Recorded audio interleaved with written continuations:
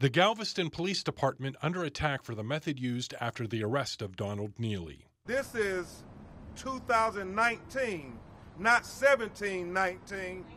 And so we have to send the message that we won't stand for this in America. It doesn't matter who's in the White House, we treat our citizens equally.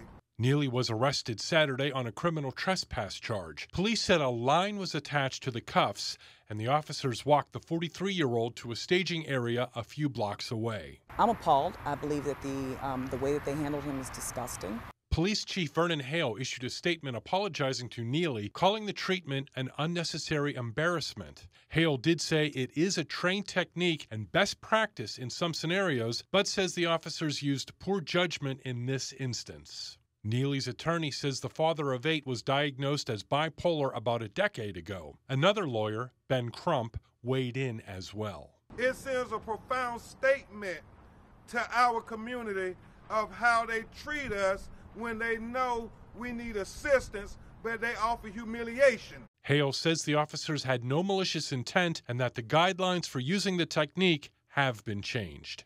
I'm John Lawrence reporting.